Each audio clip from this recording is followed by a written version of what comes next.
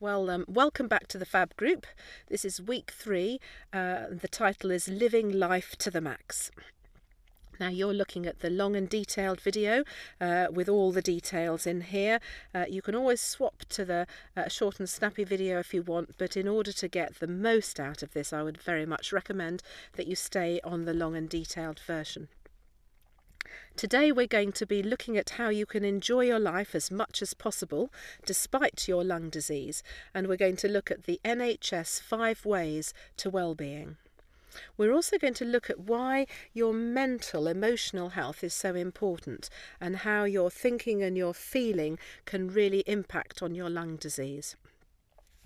I'm going to talk about how you can analyse your own individual situation using a hot cross bun. And then we're going to also look briefly at the support that is out there locally for carers. We're going to talk about future care planning. What if things get worse in the future?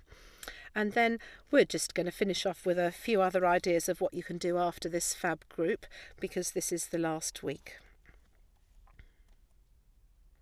Now, as before, this video is very long really, and you're not going to be able to easily just watch it all in one go, or I doubt that very much.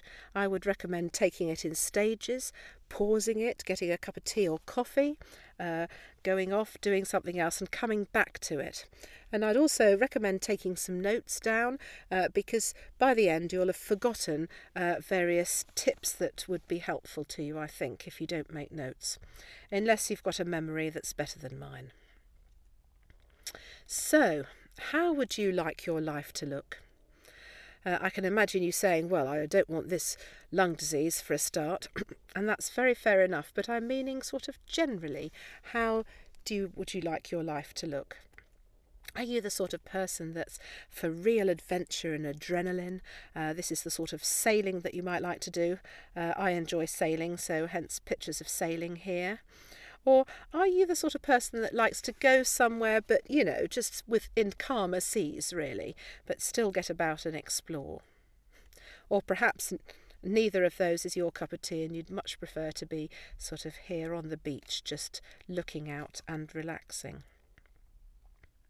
Well, we're all individuals, we're all different, uh, but what we're looking at here is how to maximise your happiness, uh, how to improve your quality of life and uh, gain good well-being, how to be content with where you're at at this moment. And of course, the happiness that I'm talking about is different from just having fun and uh, everything going well and being pleasurable.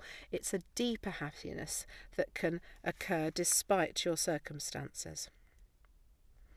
Now, it might not necessarily depend on good health, but I think you would agree that it's much easier to have a good quality of life um, and uh, contentment if you have good health. And, uh, and I'm acknowledging that this is more difficult for you because of your lung disease.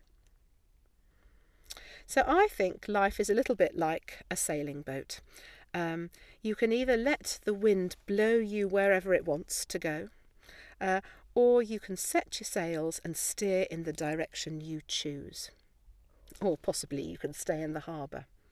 But what I'm saying here really is unless we just deliberately stop and think, uh, if we just continue through life automatically, we don't really pay much attention to how we're living or where we're going. We just sort of just meander along, letting life do to us what it what it's doing. But if we stop and think and reflect, uh, we can actually deliberately make changes to our life that is uh, for the better. We can look at what our life is like currently. Is this what we want it to be? Can we change anything to make it better? and this will improve our mental well-being. Now, you've all heard of five a day, fruit and veg, to uh, keep yourself healthy from a physical point of view, but you may not have heard of the NHS five ways to well-being, uh, which promote a healthy emotional state. A lot of research went into this. They interviewed loads of people and then analysed the data. And they found that there were five things that, if people did, promoted well being and a good quality of life, regardless of whether they had severe uh, illness and disease or not. So these five things that you can do are free, easily achievable, and you can do them uh, regardless of your circumstances, wherever you are. So I'm going to now go through the five ways to well-being and I'm going to use some slides that I've adapted from the Devonshire Partnership Trust organisation. And there are these five things that if you do will promote your emotional uh, quality of life and well-being and uh, taking a letter from each of them they can spell out clang if that helps you they involve connecting with others keeping learning being active, something that's going to be quite difficult for um, people with lung disease, taking notice of things, and giving. So, first of all, connecting with others. Um, this can be family or friends or neighbours, the local community, but really we were uh, designed to be relational beings. Uh, the saying no man is an island is really quite correct. And in prison, um, being in solitary confinement is one of the worst punishments out. So, relationships and connections between people are really important to us. And you might want to think how your relationships and connections with people are going at the moment. You might want to think how you can build connections and how you can deepen friendships.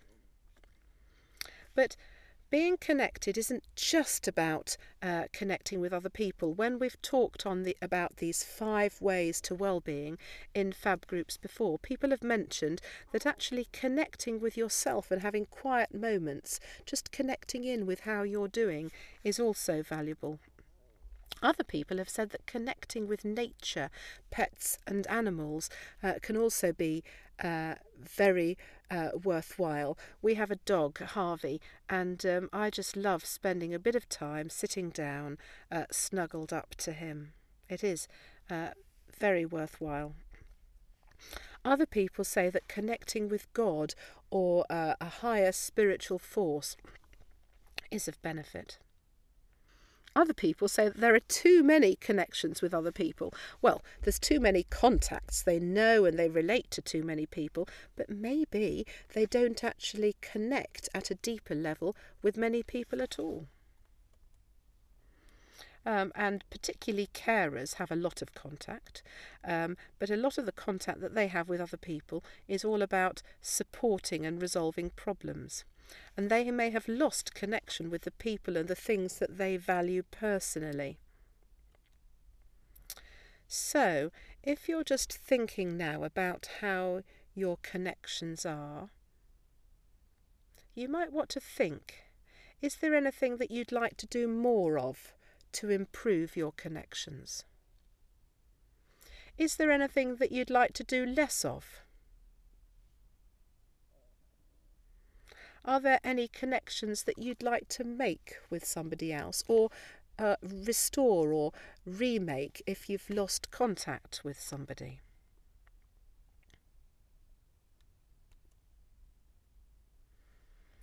The uh, second uh, way to well-being um, is learning, to keep learning, to continue to learn new things.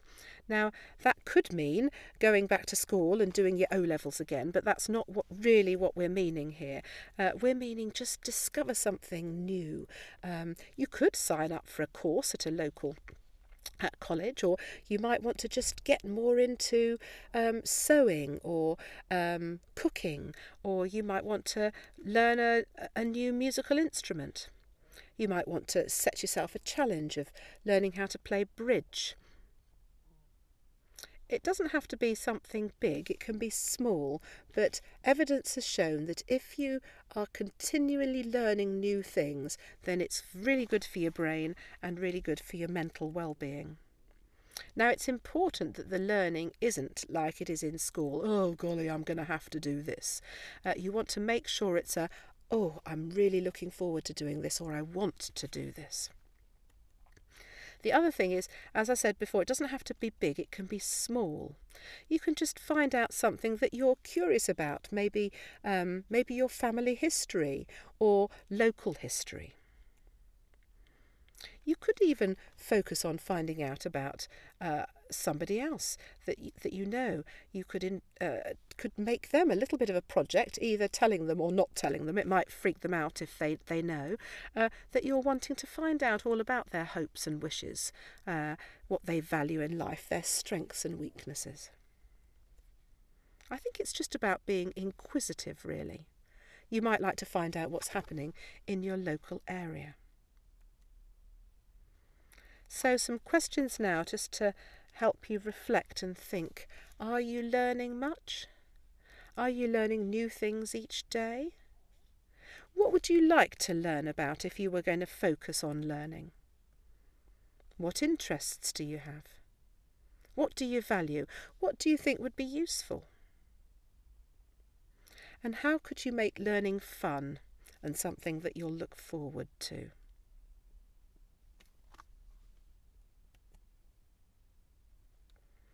Well, I think the third element of the ways uh, to well-being is going to be hard for anybody with a significant lung disease because it's be active, and that is very difficult if you get breathless and fatigued a lot of the time. But you can still be active, whatever level of fitness and mobility you have. You might want to just get outside more and spend more time in the garden. You might want to meet your friends for a drink or go to the local garden centre or go for a short walk. Even a slow one will be beneficial. But I don't know if you remember, I think it was last week we mentioned that if you if you don't do any activity, your fatigue levels will increase, uh, uh, and that's been shown uh, with um, scientific evidence. So you want to just stay a little bit active, even if you can't do much. Um, and not only will your physical fatigue level improve, but your mental well-being will also improve. You need to remember that moderate exercise is good for you, moderate breathlessness is good. And just small changes in the level of activity you do can make a big difference to your well-being. I wonder whether you could enrol on the pulmonary rehabilitation course that we've mentioned before, or whether you'd like to do some chair-based exercises at home. Or you may recall that armchair bike that I showed you, I think it was in week one or two, I can't remember. So just think back and now and just think is there any minor adjustment that I can make in my life that will help me be more active on a regular basis?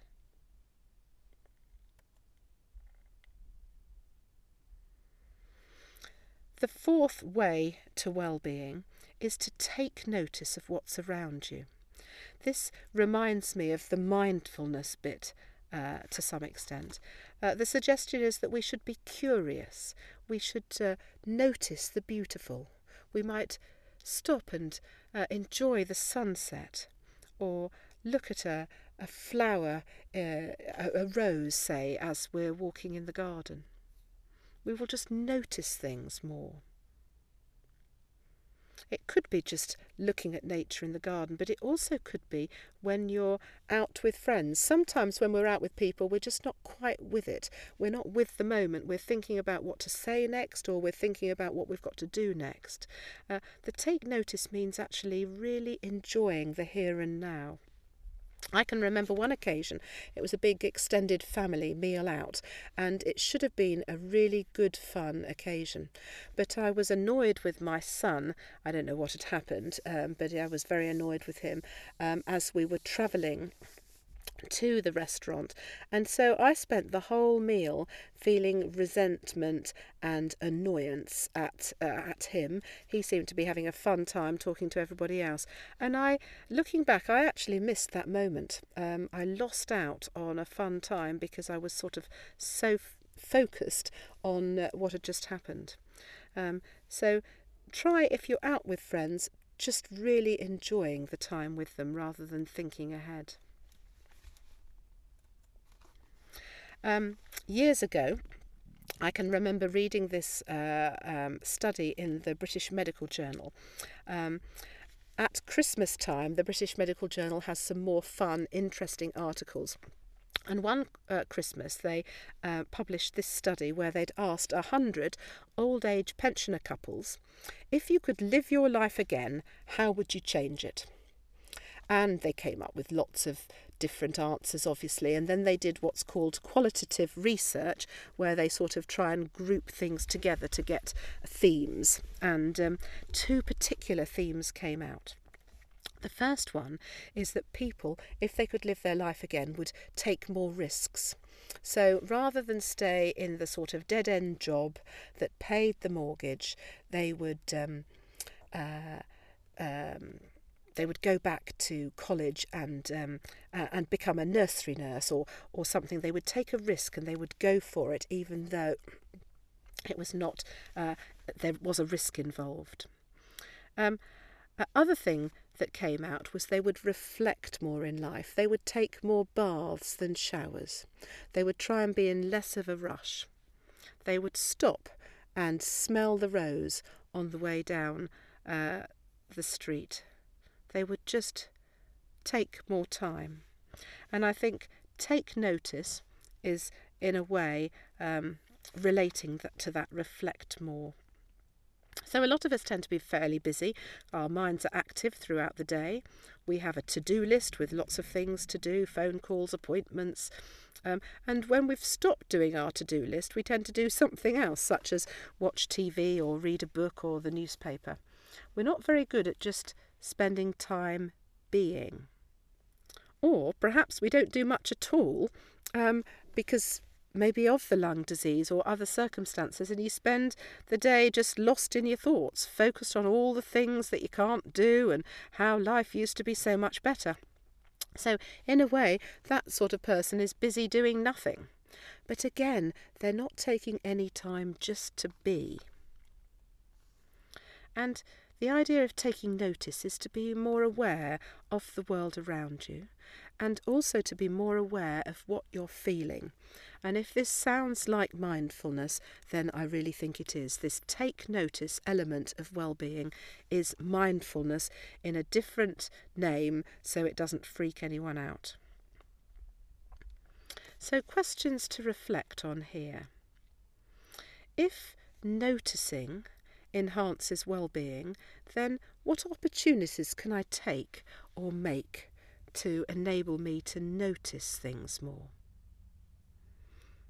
How can I slow down what I'm doing and pause more often?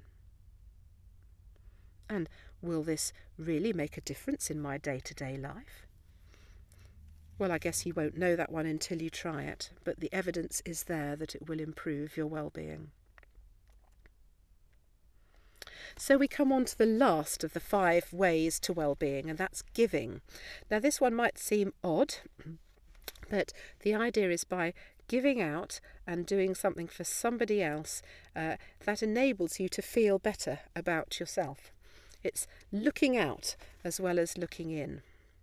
Um, it might involve doing something nice for a friend or even a stranger, just encouraging somebody or thanking them smiling at a stranger as you walk past them, or giving way to another driver. Or perhaps volunteering your time or joining a community group. The old adage, the more we give, the more we receive, is quite true. Now, it's important that you don't give out um, to others uh, out of a sense of politeness, obligation, duty, because that isn't going to improve your well being. What you want is to give uh, from the heart, uh, uh, truly enjoying the giving. You might even just give your time and listen to somebody.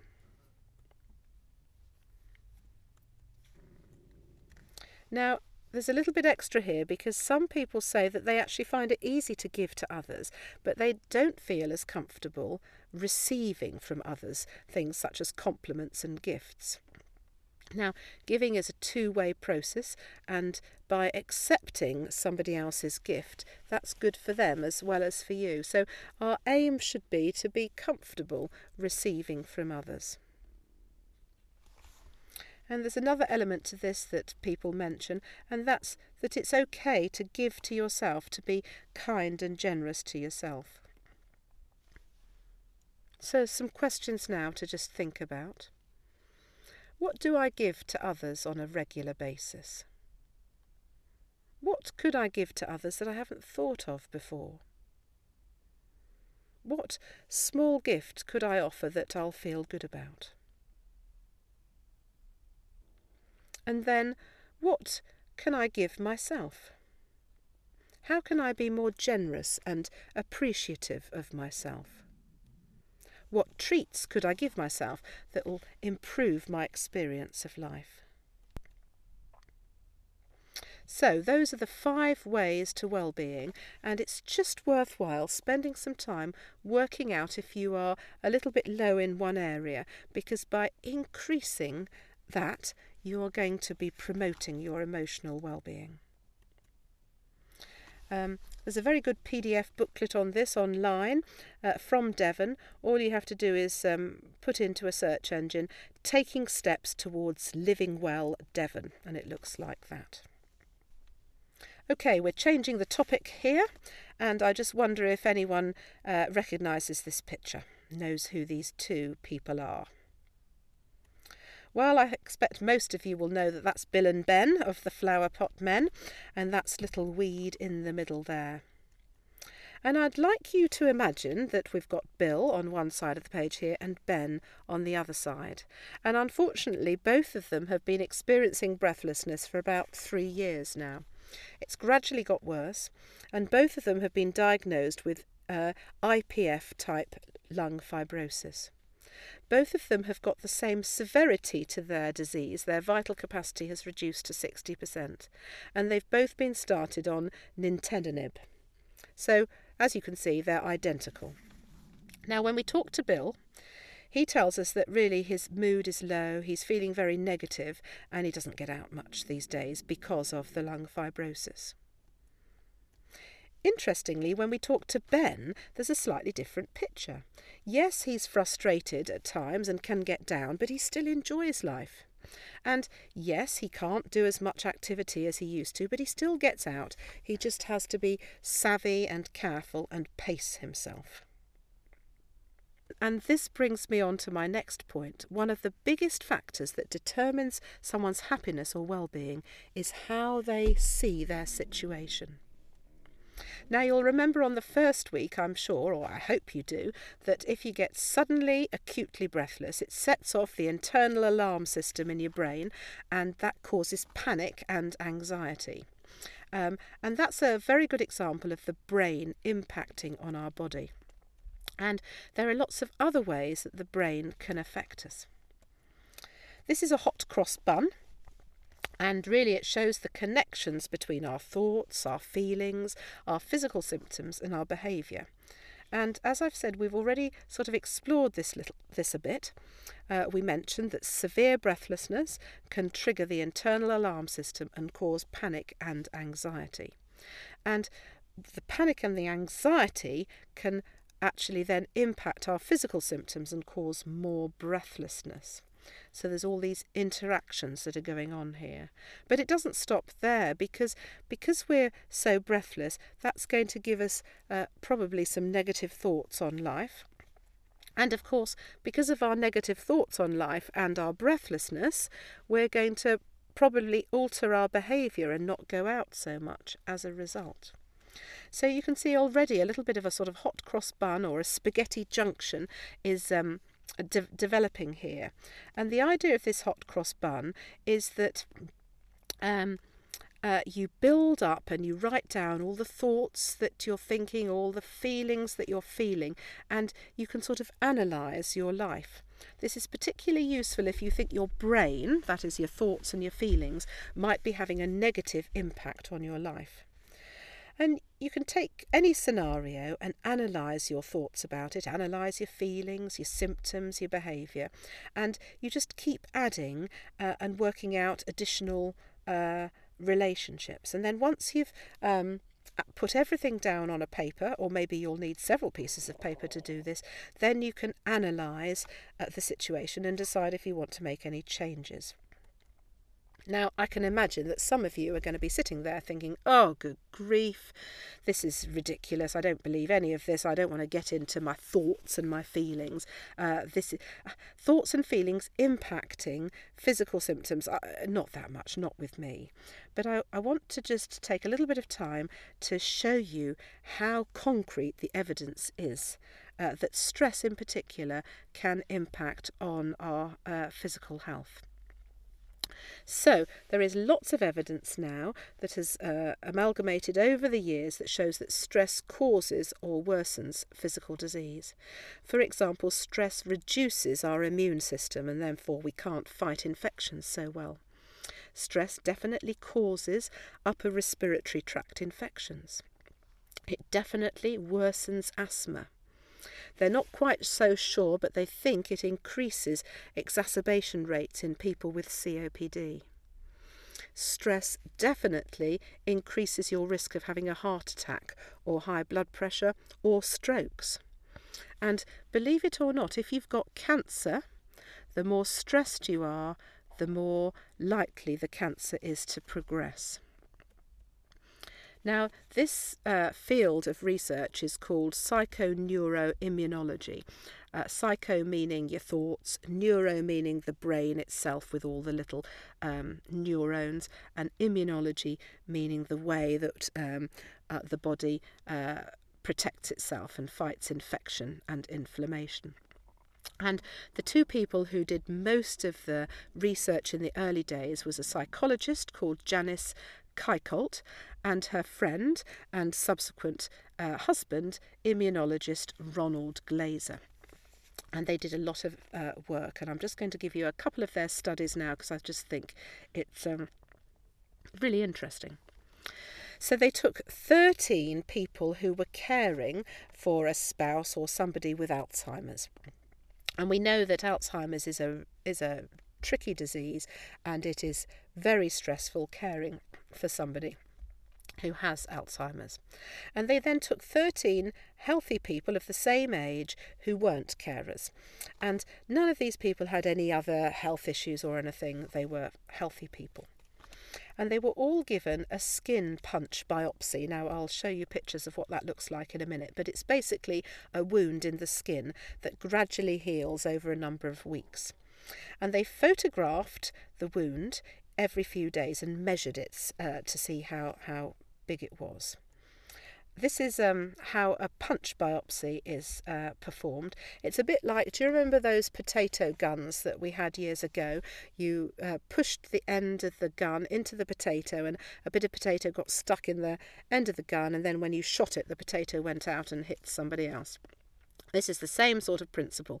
So you put this punch biopsy in the skin and it just sort of cuts all round. Um, sometimes it just comes out as it, it as it uh, immediately. Sometimes you have to just cut off a little stalk there. I hope this isn't making anybody feel queasy. Uh, and then after that, you just put a stitch across to um, to close it up normally. But in this case, in this research project, they didn't. They just left it open to heal gradually by shrinking over the weeks. And uh, this is a graph of what they found. And the bottom line is the people who were stressed as carers for people with Alzheimer's, uh, their wounds took far longer to heal than the people who were non stressed. Uh, and again, every week when they looked at the size of the wound, the wounds of people who were the carers, the stressed carers, were bigger than the wounds of the non stressed control people. It's amazing, isn't it? You wouldn't have thought that stress would actually uh, alter wound healing like that. Uh, another study they did looked at dental students. They managed to persuade 11 dental students to have two punch biopsies, not in their skin this time, but in their mouth, at the top of their mouth on the hard palate and they each had two skin, uh, uh, two punch biopsies. The first wound was given to them during the summer holidays when they should have been quite relaxed, and the next wound was given in the same mouth on their mouth, but on the opposite side, three days before their first major exam. And they looked at the wound healing again. Now, my thoughts on this are that, you know, Come on, these students have exams the whole time. They're used to doing exams. I don't think I ever got that stressed before uh, exams, did I? I mean, you know, I might have been a little bit stressed, but not drastically stressed, surely. And again, the results were similar. Uh, the, uh, the results showed that uh, the wounds inflicted during the summer holidays healed faster than the wounds inflicted just before the exams. Again, very much suggesting that stress impairs wound healing. Um, so we know for definite that the body doesn't heal so well when it's stressed. We also know, I haven't shown you evidence, that the body can't fight infections so well when it's stressed. And being stressed long term can actually increase the inflammatory response in the body, which can be damaging to the body. And it's not just stress uh, sort of anxiety that can cause this effect. Uh, people have also investigated anger and shown that people who have ongoing anger and frustration end up damaging their body similarly. So, having done a little bit of a detour and told you about that, we're coming back to our hot cross bun, and I'm hoping that now you're a little bit more convinced that it's worthwhile looking at the hot cross bun and seeing how we can change things because wouldn't it be a shame if your thoughts and your feelings were causing additional physical symptoms? So, you know, if you were able to get your thoughts and, con- and feelings under control a bit more, you'd end up with less breathlessness and less fatigue uh, than you currently have. That's, that's the idea of this. So I'm going to give you an example of how to do a hot cross bun. And I'm going to think about somebody who's got breathing problems and they they're planning to walk to their friend's house round the corner. And just the thought of walking to their friend's house makes them feel well, it gives them these thoughts. Good grief, am I ever going to make it? You know, I could end up stuck halfway on the road. I mean, will there be anywhere to sit down? And those are very understandable thoughts that somebody might have. Uh, but of course, these thoughts are going to lead to feelings, and I expect the most obvious feelings that this person will be experiencing it will be anxiousness and panickiness. I'd have thought. On the other hand, they may actually fe- end up feeling quite irritated and angry as well. They might think back to how they were 10 years ago when they could have easily just nipped round the corner without thinking about it, and now, you know, it feels like uh, an expedition to Everest just to get round the corner. Now, as we know, particularly feelings of anxiety and panic are going to impact on physical symptoms and they're going to do the and, and, they're going to cause the fight flight or freeze response aren't they with um, increasing breathlessness palpitations butterflies in your stomach uh, dry mouth sweaty shaking all over wobbly legs needing to go to the loo even.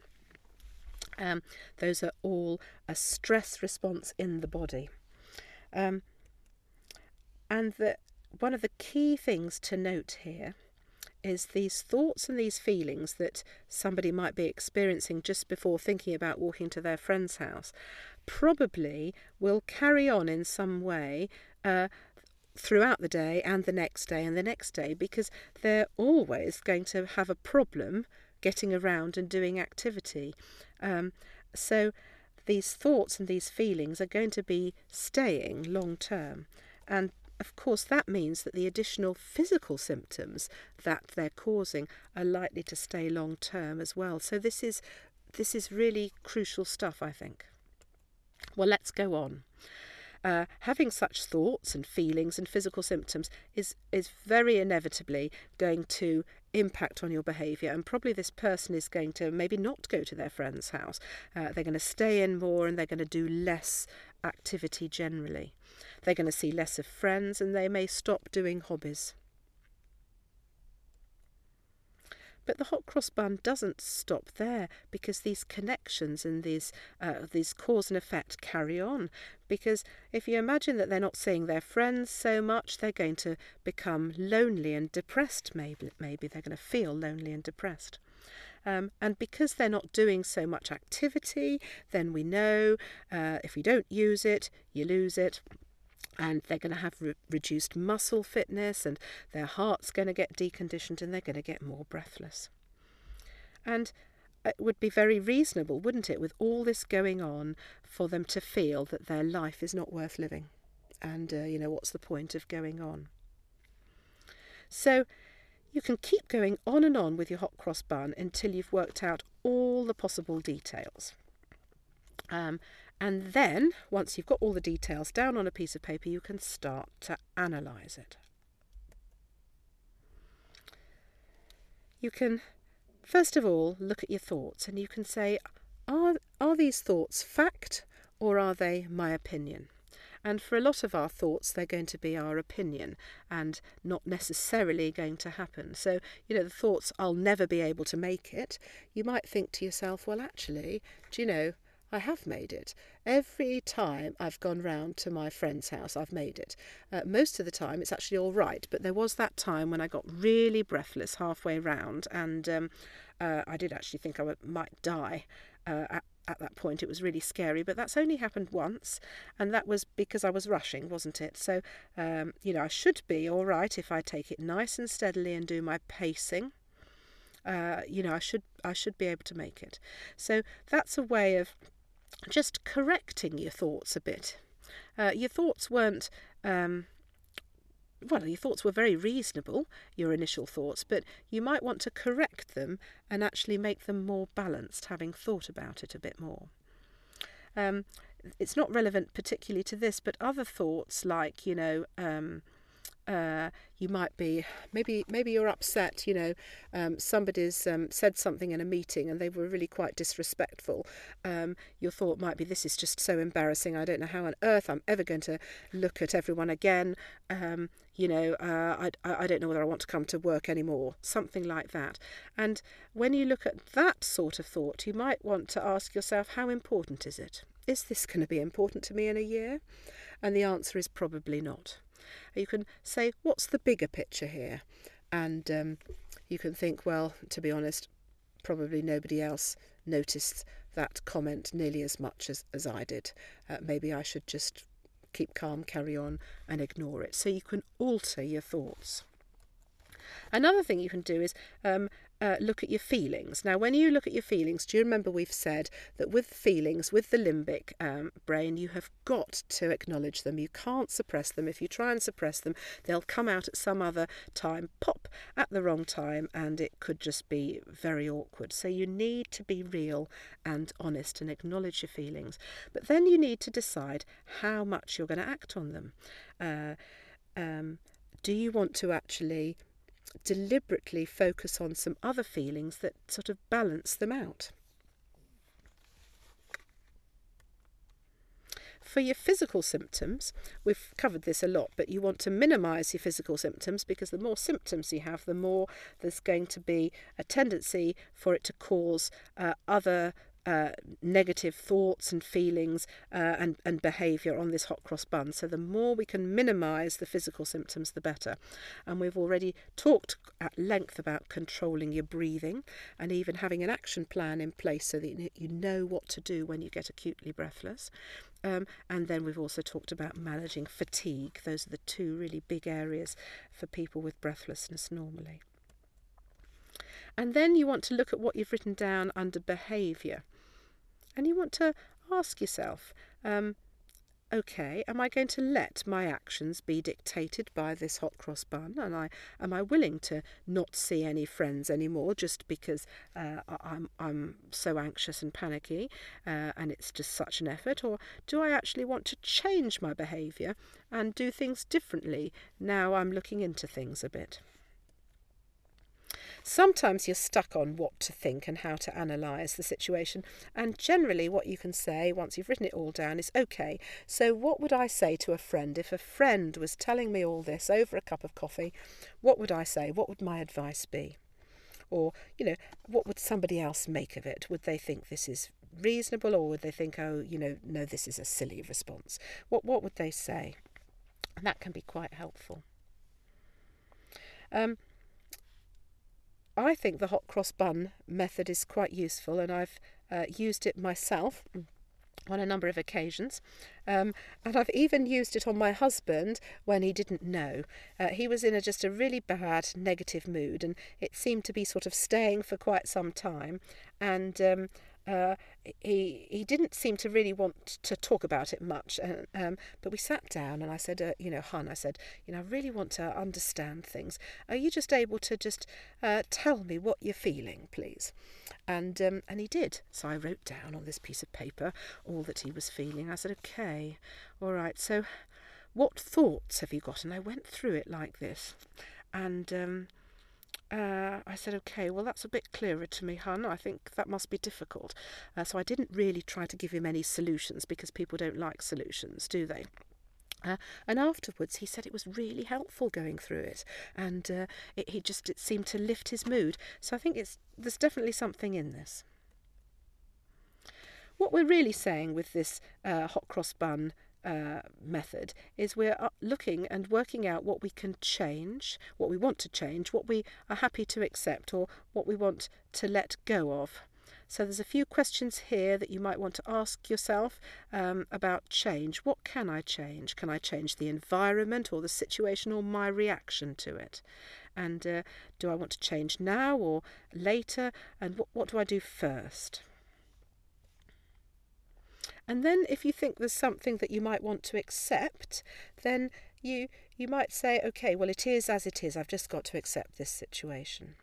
Or you might say to yourself, I don't have to agree with it. Um, or you know i'm not going to think about this i'm not going to make a decision now i'm just going to uh, just hold it there i can always think about it later or if it's the sort of panic sensation that rises in bodies quite uh, frequently, you might just say, okay, this is a normal reaction. My internal alarm system has gone off. I'm not going to fight it or stop it, it'll just pass. And then there might be some other situations where you decide you want to just let go of it. Perhaps your daughter has said something offensive and it's really upset you and it's just going round and round your head. And uh, you ask yourself, is it worth it? Is this something that I can leave and let go of and move on? Um, there's a lot of evidence that if you don't forgive someone, you let them live rent free in your head. Um, so you're constantly thinking about the situation and what they've done to hurt you, and you can't really enjoy the rest of your life because you're so focused on this situation. It's much better in those sort of situations to let go and just move on, if at all possible. So, what we're really saying is be real about your circumstances and be particularly honest about what you're feeling. And this is going to be difficult for someone who's got lung disease because, uh, in a way, it's going to involve you accepting that your life has changed and you can't do the things that you once did and that you want to do. You'll need to adapt to your lifestyle and activities. You may have to let go of some things. If you really enjoyed badminton or squash, that may be something that you have to let go of. But the key thing is to continue to take part in life and to enjoy life as much as you can. The Alcoholics uh, Anonymous AA have a um, have these little tokens that they give out once you've not been abstinent for a month or two months or three months or six months or a year. They give you a, a different token. And on the back of each token is this prayer called the Serenity Prayer and it just seems appropriate in what we're doing here. It says, Grant me the serenity to accept the things I cannot change, courage to change the things I can, and wisdom to know the difference. Now, all this hot cross bun business and everything is the basics of cognitive behavioural therapy, CBT, which is one of the main sort of counselling, talking therapies that uh, we can do.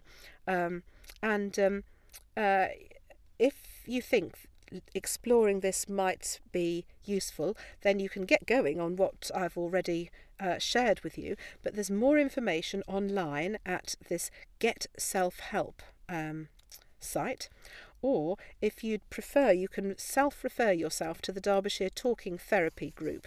Um, you can just search online there for Derbyshire Healthcare interested in talking therapy page and you can sign up. Phew. Uh, that's a long, quite intense section uh, that we've just covered there.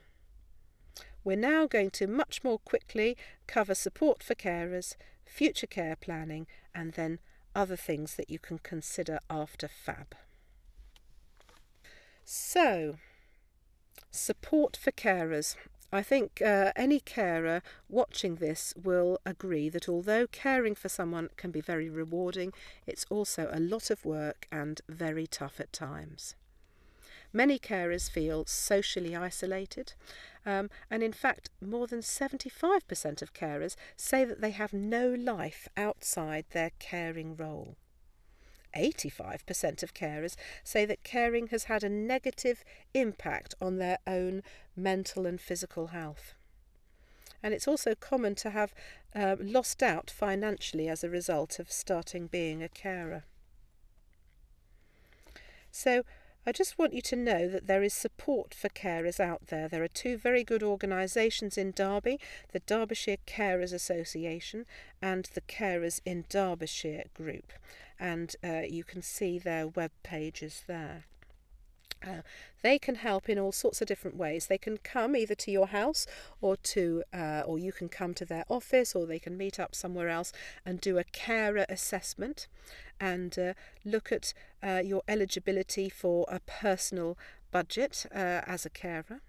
They can give benefit advice, legal advice, including lasting power of attorney and wills. Um, they can uh, give support and counselling. They can give advice on travel and emergency cover. So, for example, if you got ill, what would happen to the person you're caring for? Um, they can uh, they they have a lot of social events and a befriending service. So there's a lot going on there, and I would very much recommend that if you're in a caring uh, position, that you, if you haven't done so already, make contact with these organisations. Now, this section is all about planning for the future uh, because, of course, your lung condition possibly could get worse over time. I think it's fortunate that we can't really work out exactly what's going to happen to somebody over time. It's actually it's very difficult with um, lung disease to work out how the future is going to pan out. Um, but because the future's unknown, it's a good idea to plan ahead in advance um, in case you have an unexpected uh, health crisis. Now, don't worry, you don't. Nobody's going to force you to do this.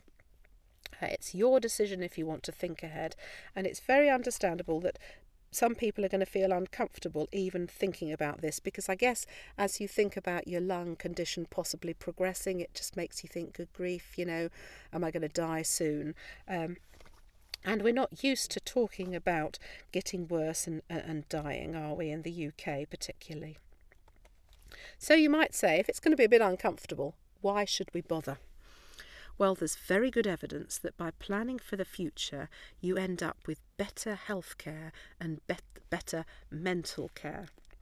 So, if you've talked about uh, how you'd like things to uh, go, what sort of treatments you'd like in the future, you're more likely to get the sort of care and treatment you want. And also, if you've planned ahead, you feel more in control and you're going to feel more and rela- more relaxed and at peace about the situation. And it's interesting, it's not only the person with the lung disease uh, who feels more relaxed and at peace, uh, carers and, and relatives also say they feel more uh, content and relaxed because they know that if something serious does happen, there's now information to guide the medical team. It doesn't all fall on their head, they're not responsible for everything. The other thing to note is that you can always alter a future care plan at any point in the future, so it's not uh, written in stone. So, if you're going to plan a little bit for the future, what might you want to consider? Well, as I've said, uh, it's important to uh, for us to know your views on different treatments and types of care that you might want. Uh, for example, would you want to have non invasive ventilation? Do you know what non invasive ventilation is? Um, uh, when you're acutely unwell, nobody's going to be able to explain it properly to you. It's not. Uh, it's much better to think about these things in the clear light of day. If you've been in hospital for a number of weeks on end and you're not improving, do you want everybody just to keep going with all possible aggressive treatment? Um, do you want that to happen even if there's only a very slim chance of recovery? It's these sort of questions that it's worthwhile talking through. And then, uh, if you want, we can just sort of write it in a um, a future care plan, and it just helps people uh, know what you want. Most uh, care plans also have a special section discussing uh, resuscitation, that's cardiopulmonary resuscitation. That's when the heart or the lungs stop and you try and restart the heart or the lungs with the cardiac massage or the sort of breaths into the lungs. Now, the important thing to note here is to be honest, if you've got a severe heart or lung disease, the chance of um, CPR resuscitation being successful is very, very small. If your lungs have stopped due to your lung disease, then it's very unlikely that we're going to be able to restart it. But it's really worthwhile discussing whether you want resuscitation or not with a health professional and really understanding the nitty gritty of it before making a decision. Other questions that you might like to consider are if you're thought to be in the last stages of life, where would you like to be cared for? Would you prefer to stay at home uh, with your family or would you prefer to be in hospital or somewhere else? Sometimes there are practical issues, such as, you know, if you're the carer for a child who's got some learning disability, you need to make sure that people are aware of that and will then look after your child if you become ill, and that can be written into a care plan. Similarly, if you have a cat that's uh, very precious or a dog, some animal that needs looking after, that can be written down. The other thing that often is written down is who to contact in an emergency, and that's very useful for the paramedics. These discussions are often documented in some sort of care plan, and the one that we tend to use in Derbyshire at the moment is the respect form. It's important to note that this document is not legally binding, so whatever's written there, people can override it. Um, so, ex- for example, if you fall fall through a glass window and you've got cuts all over yourself and you're bleeding out, then just because your respect form says, you know, don't attempt resuscitation it doesn't mean people wouldn't because it's in a it's a different scenario and people uh, will adapt um, to, uh, accordingly. So this is what the respect form looks like. Respect stands for recommended summary plan for emergency care and treatment. And uh, uh, the front page has got all the details about uh, uh, the sort of care that the person wants, and the back really is just um, uh, signatures and documenting who to contact in an emergency. So, section two of the front talks about uh, a, a, quick summary of what the, the particular health issues the person has got. And then section three um, asks Are you wanting us to prioritise life as much as possible, even if it's at the expense of some comfort? Or alternatively, are you wanting us to prioritise comfort? Knowing that maybe uh, we're not going to be sustaining life for quite so long, but priority is the comfort there or sort of are you anywhere between those two? And you can see that sort of line, uh, that white line going between those two areas of lilac, and you can put a cross anywhere on that line. And then the section below, section four, is really uh, guidance, uh, you saying specific treatments that you do want or that you don't want, whether you want to come into hospital or not, uh, and then there's uh, boxes at the bottom on whether resuscitation, that CPR attempts are recommended or not recommended there. Now, you may find that if you come into hospital, you have a respect form completed and there hasn't really been a big discussion with you. Uh, that's not good because uh, respect forms are meant to involve a full discussion with the person and if they wish also with their family and that because of the busyness in the hospital that just quite often doesn't happen so if you've got a respect form and not much is written on it then you might want to get a revised one with more detail because uh, uh, that will be far more useful to people looking after you in the future rather than the, just the uh, scanty one.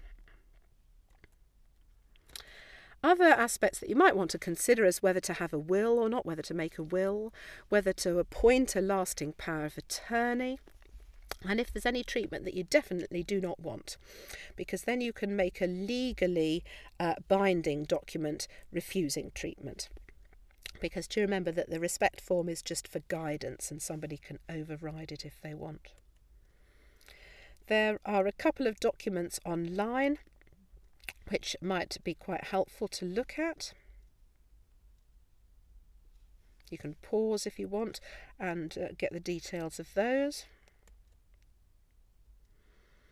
And then, if you do want to do any future planning, then it's obviously best to have a face to face discussion with somebody, and we could either do that um, uh, in our one to one session post fab, or you can discuss it with your GP or specialist nurse or your hospital consultant.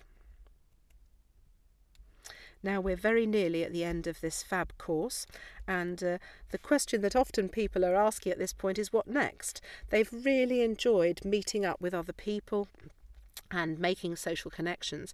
And uh, you know, this is a, just a very small three week course, and uh, people are, are feeling uh, sad that it's over. But within the Impact Plus team, we have a few other social groups for you to join.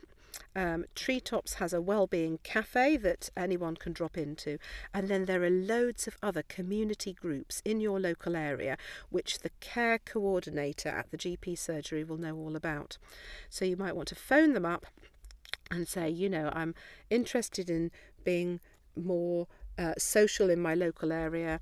You know, I've got a lung condition, I can't walk very far, what's out there.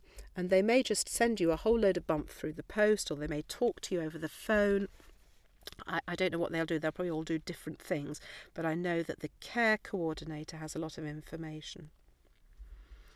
So, just briefly, I want to tell you about Lungs for Life. That's a social community group that meets every Wednesday in Oakwood. We have great fun there.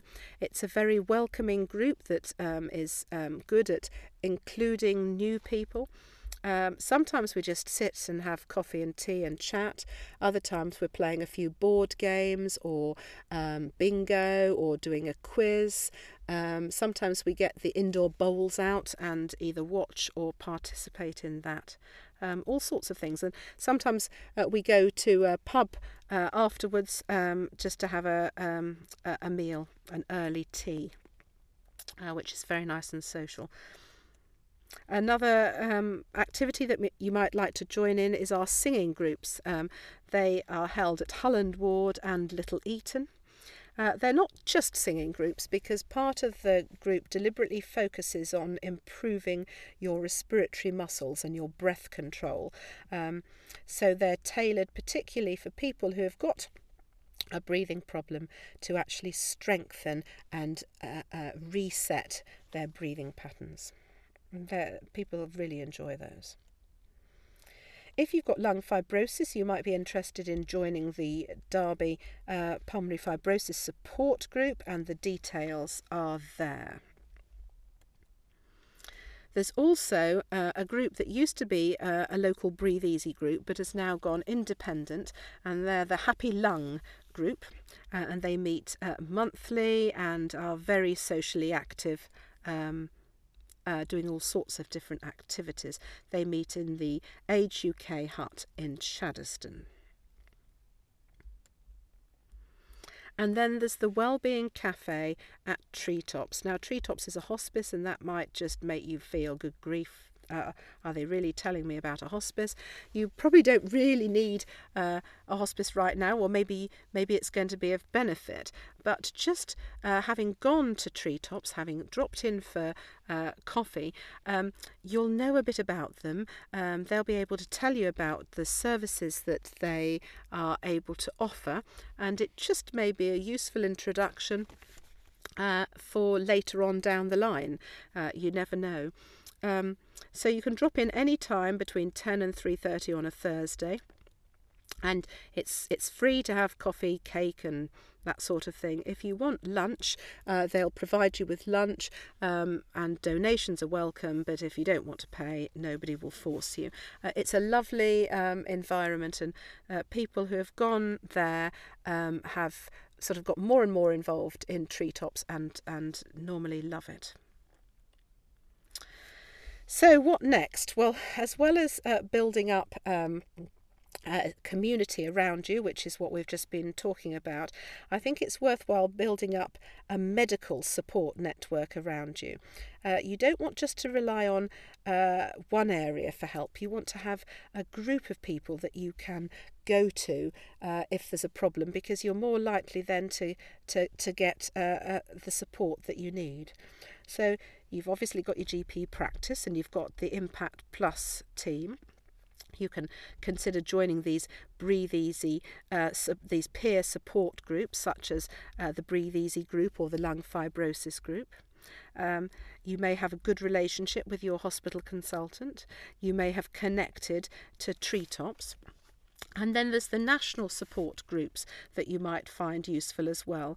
Uh, there's one particularly for pulmonary fibrosis, and then there's the main one, the British Lung Foundation, which is a brilliant site.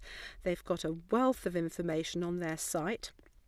If you just click on support for you, then you can get to all sorts of areas, including these um, uh, titles, and I think you'll find that very valuable.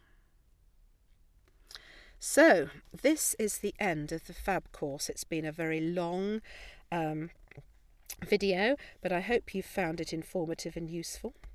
Um, I'm anticipating that you're now probably going to book the one to one post Fab clinic consultation if you've been on the formal course. Um, you may have other symptoms such as a cough that we haven't covered, and you'll be able to discuss that on a one to one basis. Um, and there may be other issues that you've got, and we may not be able to help directly within the Impact Plus team, but we may then be able to signpost you on to other areas that can help. It has felt very odd delivering this fab course as a video because normally we're all sitting round in a group, chatting, having fun, interacting, and building up relationships. But I hope you uh, feel that uh, we want to support you. We realise that having a lung disease is not easy, and I hope, uh, uh, above everything else, that you're able to live life to the max despite it all.